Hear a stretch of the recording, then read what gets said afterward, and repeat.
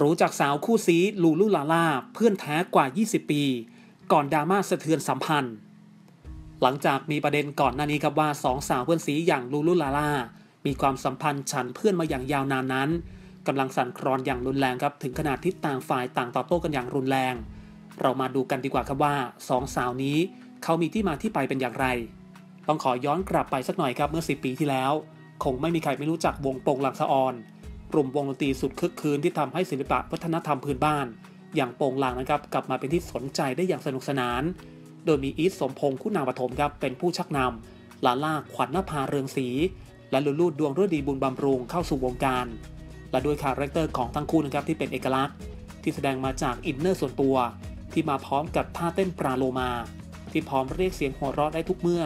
จึงเป็นภาพจำของคนดูได้อย่างง่ายดายที่มาของชื่อลาล่านะครับมาจากคำว่าอีลา ที่คนอีสานนะครับมักเรียกเด็กผู้หญิงน่ารักน่ารัก ส่วนลูลู่นั้นเข้าคณะมาทีหลังและต้องการให้ชื่อสอดคล้องกันผนวกกับคาแรคเตอร์ที่คล้ายกับเด็กดอย จึงได้ชื่อว่าลูลู่นั่นเอง ซึ่งชื่อเล่นจริง ๆ ของลาล่านะครับคืออุและลูลู่คือดวง ทั้งคู่นั้นยังเรียกชื่อแทนตัวเองกันอยู่ แต่คนใกล้ชิดอาจจะลืมไปแล้วเพราะเรียกแต่ลาล่ากับลูลูแต่พอมาถึงช่วงปี 2556 ครับลูลูกับลาล่า ก็มาถึงจุดเปลี่ยน โดยทัศนคติในการรับงานที่ไม่ตรงกับวง ทั้งคู่นั้นจึงตัดสินใจเดินออกจากวงโปงลางสะออน เข้าสู่ค่ายอาสยามอย่างเต็มตัว เพราะทั้งคู่นั้นต่างก็มีแนวทางและความฝันในทางเดียวกัน เรียกว่ามาด้วยกันก็ต้องไปด้วยกันตามตำรา คนเดียวหัวหาย2คนเพื่อนตาย เพราะความผูกพันสนิทสนมที่มีมานานกว่า 20 ปีนั้น ตั้งแต่ยังเป็นเด็กนักเรียนนาฏศิลป์วิทยาลัยนาฏศิลป์กาลสิน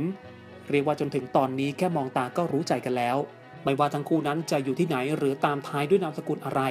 ทั้งคู่ก็ยังคงความเป็นตัวของตัวเองเอาไว้ และยังคงสร้างสรรค์ผลงานดีๆ ให้เราได้รับชมอย่างต่อเนื่อง และในส่วนของความสัมพันธ์ของทั้งคู่ ว่ากำลังสั่นคลอนจริงหรือไม่ ความเป็นเพื่อนกว่า 20 ปีนั้นจะเป็นยังไงต่อ เราก็ต้องติดตามกันต่อไปครับ อีกหนึ่งช่องทางข่าวครับที่คุณจะสามารถติดตาม และอัปเดตข่าวสารไปพร้อมๆ กันได้เลยนะครับ